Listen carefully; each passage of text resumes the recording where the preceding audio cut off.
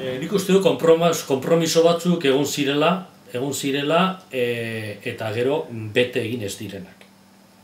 Eta hori ez nago jaskeneko prozesu negoziatzailea, baizik eta onatago etorrita eta pasaden udan udazkenean eta gauza batzuk eta gero zergaiti ba, bueno, hori igual e, pesoeren barruan igual denok ez dute berdin jokatu. Baterako sorture legalizazioa, paro doktrinaren inguruan, hori dana em, emantzat ematen zen e, udazkenean.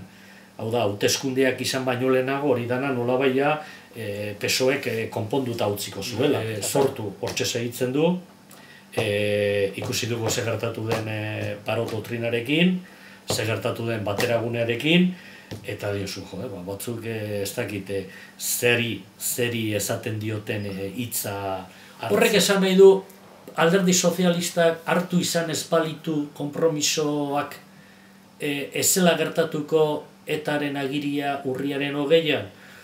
Nik uste dut e, etak hartu duen erabakia eta eta e, zeraren prozesua bera, e, aieteren prozesua bera, prozesua edo, horre prozesu baten ondorio izan zen hori, nik uste dut e, edozein kasutan gertatu ingo zela alderdi sozialistak e, esan edo ez esan.